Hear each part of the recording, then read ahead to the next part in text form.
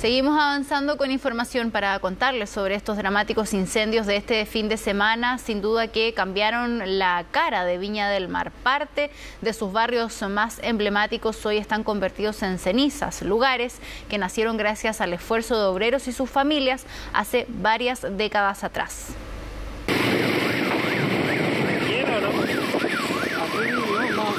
Un recorrido dantesco es el que registró este motorista en Viña.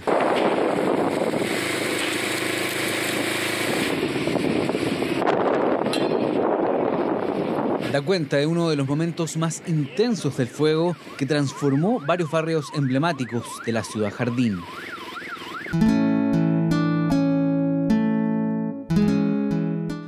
Desde las alturas, los vecinos del sector Achupayas mostraban su barrio a través de redes sociales, un barrio con una historia enorme que hoy está convertido en cenizas. Las casas y áreas verdes que mostraban un esfuerzo colectivo de años fueron devoradas por el fuego. Trabajé acá en la, Escuela de Villa Independencia, donde más de la mitad de la escuela, yo diría que un 80 o 90% de nuestros alumnos eh, están damnificados, así que necesitamos por favor ayuda a los niños. La escuela es de básica, los niños son de prekinder hasta octavo básico. Yo la verdad es que a mí me duele porque yo crecí acá, hice clase acá, veo acá las casas de ellos todas destruidas, la casa de mi mamá, la casa de mi abuela. Es una vida, es, cuando nosotros nos criamos. Nos enteramos también que acá murió una familia completa.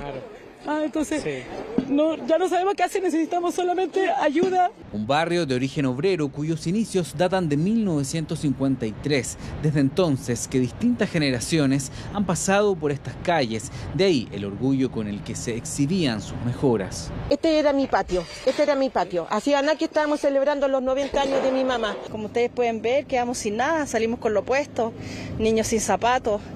Lo que más sentimos son las vidas que que se perdieron, de gente que uno quiere, gente que uno de verdad la siente. Una experiencia traumática que ha dejado más de 12.000 viviendas quemadas y 30.000 damnificados entre Viña del Mar y Quilpué. Justamente en el camino troncal que une ambas ciudades está otro sector arrasado por el fuego, Villa Dulce, población que surgió gracias a los sindicatos de la compañía de refinería de azúcar de Viña del Mar, Kraft, de ahí su nombre, barrio de obreros que creció a punta de puro esfuerzo, el mismo que el fuego se llevó.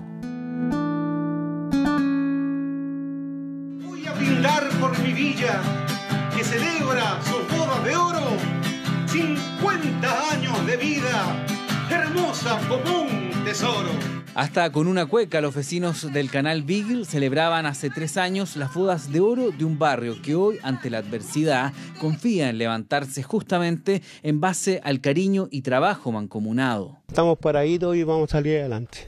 Tenemos mucha fe, mucha fe en, en la gente, en los amigos, en todo. Así que es un momento complicado porque esta casita era de mis viejos, de mis papás, ellos ya fallecieron, se fueron no nos dejaron a nosotros y miran el estado que queda ahora. Los vecinos dicen que han notado muy poca presencia policial y ayuda municipal. La mayoría se conocen desde pequeños, por eso que toda esta tragedia duele aún más. Gracias a Dios aquí somos todos unidos porque estamos todos de, de que empezó esta población en el año 71, así que ya va como la tercera generación aquí ya de, de todos los que nos criamos aquí, pues están los nietos aquí viendo.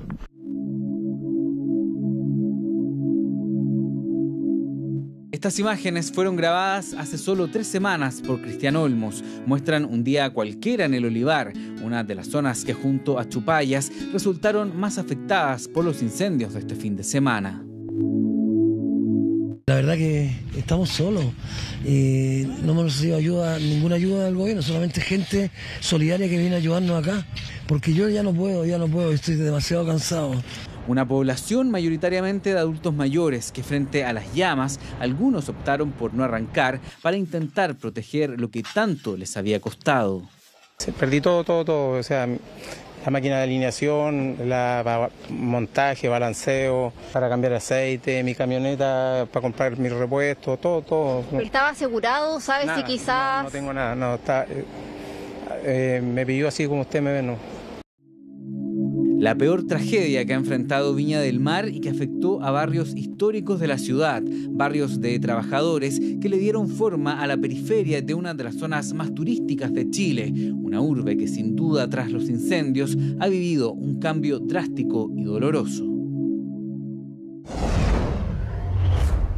Estamos de vuelta, vamos a seguir revisando, ¿cierto?, lo que ocurre en Viña del Mar. Vamos a tomar contacto con Martín Ortiz, eh, que está en el sector de El Olivar. Martín, otro de los lugares también bastante afectados por este incendio. No sé si has tenido la oportunidad de conversar con vecinos que, por lo menos en otros sectores, nos han dicho que todavía no han ido a tomarle los datos para la ficha eh, de básica de emergencia, para poder obtener estos bonos que se comienzan a entregar el día viernes. ¿Cómo estás?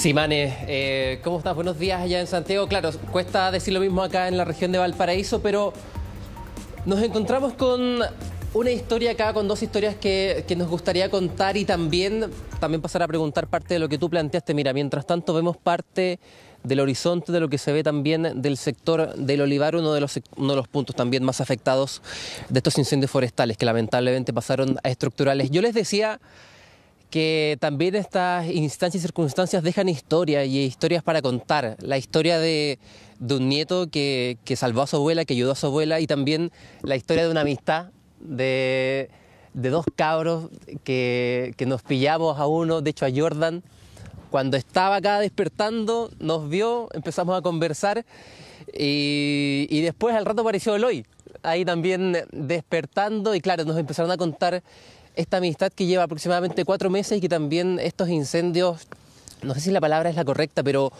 unió, pero también eh, puso a prueba esta circunstancia. Primero quiero agradecerles por el tiempo, por la hora, porque deberían estar durmiendo, o tú estás ahí durmiendo, pero, recuperando un poco de energía. Obviamente están recuperando las energías, pero comencemos con la primera parte, Jordan. Eh, tú me contaste que, o podríamos decirlo que gracias a ti, tu abuela se salvó, tu abuela Esmeralda hola, eh, primero que nada, eh, muchas gracias a toda la gente que vino a ayudar, eh, se agradece harto por la población. Y eso, mi, puta, sí, mi abuelita la saqué, en el auto. Tuvimos, tuvimos un momento así de infartante porque todos nerviosos, mi tía, tuvimos cinco personas, mi primo igual, y pucha, hay estas personas que no pudieron salir, mi auto Tampoco el de mi prima, obviamente, eh, como que quedó ahí, nos bajamos y yo, mi abuela de 90 años, yo la subí, a mí, no sé cómo mierda lo hice, y mi abuela como es tan creyente, ella, no sé, oraba a Dios y yo también le pedí a Dios fuerza para subirla, para subirla. ¿Y, la, llevaste por esta misma calle donde nos encontramos en a la subida dejarla a un bus? En la subida, a una micro y después me bajé a seguir ayudando a la gente porque hay varias gente, mucha gente que estuvo mal, abuelitos, hasta perritos, tratando de ayudar siempre a todos porque puta, yo nací, me crié aquí y vi gente gente calcinada, mi tía igual, puta. El después no puede haber hecho nada más, pero puta, eso.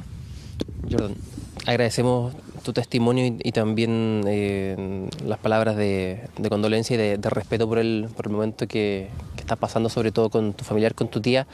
Pero también comentábamos que, que esta instancia eh, nos cuenta la historia de dos amigos que se conocen hace cuatro meses aproximadamente. Eloy, que llegó desde el cajón del Maipo, y antes de comenzar este despacho preguntábamos, a ver, ¿quién fue tu primer amigo o tu, mejor amigo hasta ahora? Tú dijiste Jordan es uno de ellos, y claro, esta circunstancia también ayudó porque Tú estás acá, tú viniste a acompañarlo, pese a que también en tu casa eh, se perdió lamentablemente todo producto de este incendio.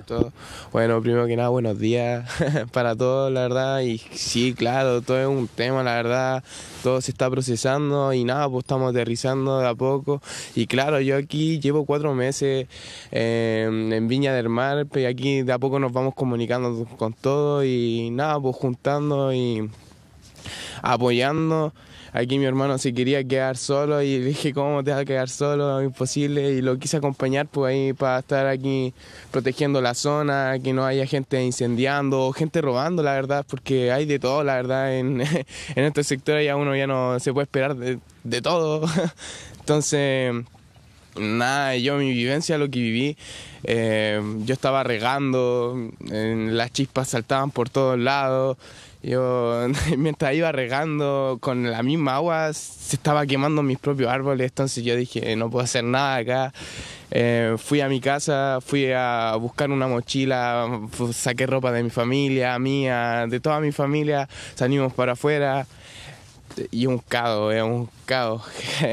La gente se desplomaba al, piso, a nuestros pies. Eh, los autos todos estaban colapsados, se daban vueltas, las casas incendiadas, eh, lo, habían zonas donde habían como tanques de gases y se hacían flores de fuego, era increíble, era un apocalipsis, de verdad no, no hay otra palabra que pueda definirlo como apocalipsis. Eh, mientras iba caminando y salvando a mi familia, vi más más de 20 personas cayéndose, atropelladas, de todo.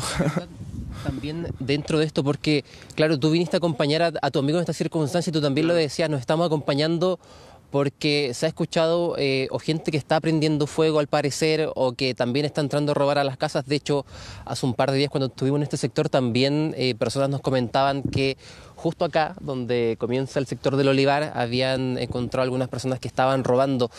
¿Se han coordinado como vecinos? ¿Han tenido alguna información de que si esto ha pasado o no por el sector durante estas últimas horas, estos últimos días? Eh, por el momento aquí no hemos tenido tanta comunicación, pero igual con los vecinos hemos tratado de hablar. Eh, yo anoche me quedé donde un amigo, igual aquí en Villa Dulce, y por lo que sube yo, igual había gente, atraparon a una persona, y puta, igual en todos sectores ha estado así, como de varias gente que quería hacer eso, como hacer fuego, hacer incendios, no sé, generar, generar desorden. Oigan, chiquillo, yo también quiero aprovechar la circunstancia y la oportunidad eh, y en, cada sector que uno está, ¿qué es lo que más se necesita en este punto urgentemente? No hemos escuchado muchas voces durante este día, también la jornada de ayer y antes de ayer. Primero, camiones para remover escombros, que es lo principal, pero también después de eso, en el caso particular de ustedes, tú me decías que, por ejemplo, no tenías ni pila para linterna. Claro. No, no tengo ni linterna, de hecho perdí todo, mi, todo, no pude entrar ni a mi casa. Yo no puedo entrar a mi casa. Eh, puta, ¿qué podría hacer?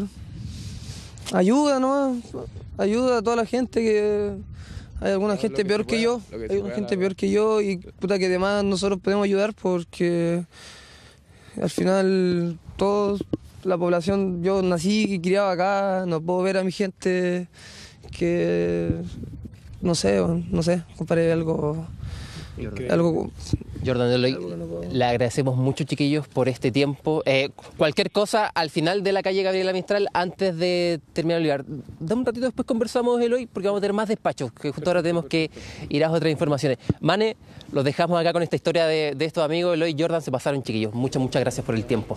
Sí, Martín. Bueno, ahora en el noticiero que tenemos de 8 a 9 y media por Zapping, Canal 31, ahí vamos a seguir conociendo más historias. Vamos a tener, por supuesto, más despachos contigo, también con Pato Con Roberto Carrasco, que están desplegados en diferentes sectores de eh, Viña del Mar para ir conociendo además qué es lo que necesitan en este momento todas las personas afectadas. Muchas gracias, Martín.